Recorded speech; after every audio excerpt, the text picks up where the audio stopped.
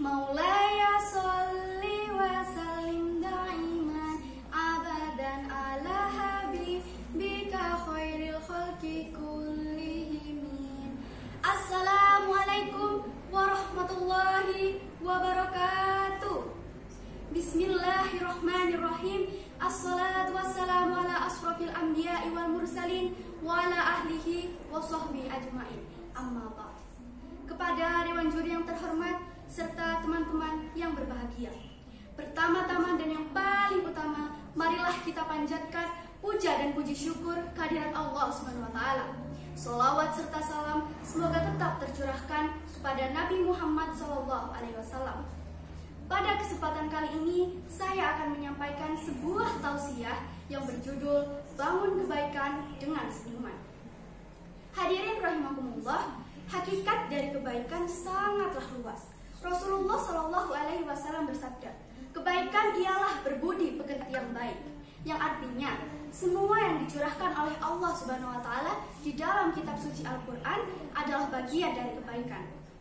Tetapi terkadang pelaksanaan perintah Allah masih sering terasa berat pada diri kita. Maka dari itu, saya akan memberitahu satu amalan yang ringan tapi memiliki arti yang sangat besar. Ada yang tahu tidak apa amalan tersebut? Sekali, amalan tersebut adalah senyum. Sahabat yang dirahmati Allah, Rasulullah Shallallahu Alaihi Wasallam bersabda dalam suatu hadis yang diriwayatkan oleh At-Tirmidzi yang berbunyi, Tabassumuka fi wajhi ahika laka sodaqah.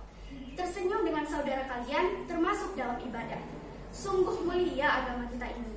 Bahkan hal yang sangat ringan dapat bernilai ibadah di agama Islam. Senyum mungkin urusan yang ringan dan mudah untuk dikerjakan, implikasi yang luar biasa besar, mempererat persaudaraan dan membuat suasana menjadi nyaman. Sahabat yang dirahmati Allah, semoga Allah senantiasa memberi hidayah kepada kita sehingga kita terampil menjaga niat dan tersenyum yang mendatangkan keberkahan. Amin amin ya rabbal alamin. Semoga kita semua dapat mengambil manfaat dari tausiah singkat yang saya berikan. Wabillahi taufik wal hidayah, warido wal inayah. Wassalamualaikum warahmatullahi wabarakatuh.